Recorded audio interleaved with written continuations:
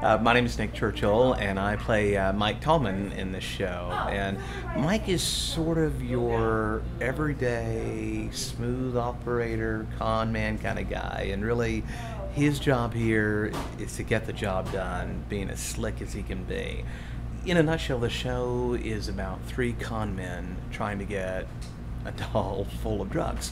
It is. Um, it's the same little spiel that Carlino and Mike do every time they have a con job. Each one has their certain part. Each one has their own little way of making something happen, and they've done this job a million times, so they could do it in their sleep, no matter what the obstacle is. And she is a blind woman. She's been blind for just about over a year. Wait Until Dark is a play that asks the question what would you do if you were completely blind and faced with a nightmare scenario. Well, She's having to to connect things, sounds and why things are happening and how are they connected with each other to get clues as to what's really going on.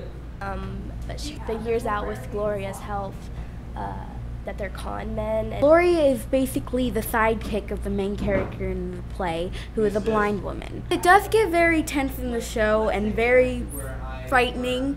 Roat is the big criminal in this case. Uh, he kind of has all the ideas and has everything ready to go. And we don't want to leave any tracks, is one of the main things. We don't want to leave any tracks. Uh, and it's easier to just uh, uh, talk her into giving it to us of her own free will than it is to go to the violent route. Uh, we find out early on that she's uh, she's reasonably strong. Uh, Steve Quimby is fabulous.